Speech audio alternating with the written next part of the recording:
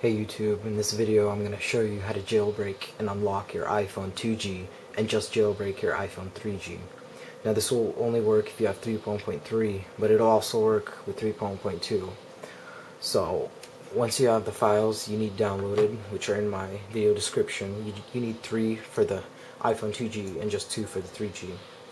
You'll see a redsnow.exe icon and you're going to right click it and click properties. Compatibility and check run this program in compatibility mode 4 and on the drop down menu select Windows XP Service Pack 2 and click apply and OK. Once you've done that, right click it and run as administrator.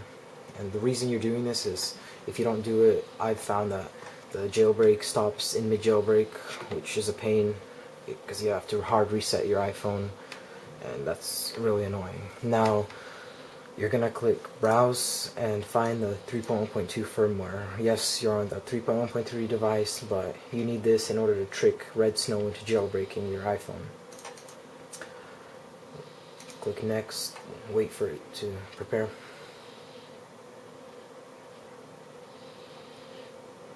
Now you're gonna get a bunch of options and there's a lot of them but all I need is to install Cydia and unlock now you can only check unlock if you have an iPhone 2G. If you have a 3G that will be gone. So just jailbreak for iPhone 3G users. Now click next and search for the bootloaders.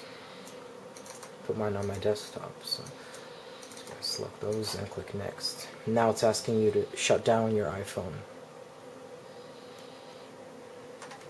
Let me do that really quick. And hold your hand finger on the power button as you click next.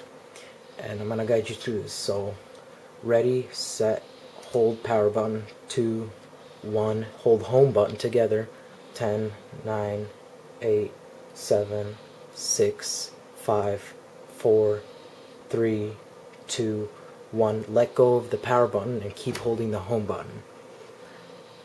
And keep holding it until you see something on the Redsn0w, but I recommend holding it throughout the whole jailbreak because I found it crashes less often.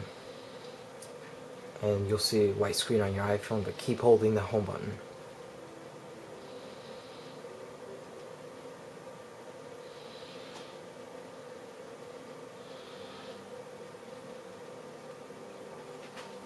Now, if you didn't do those steps in the beginning, it would stop about right about now and give you an error that redsn0w.exe has closed. So that's why you did that. Now,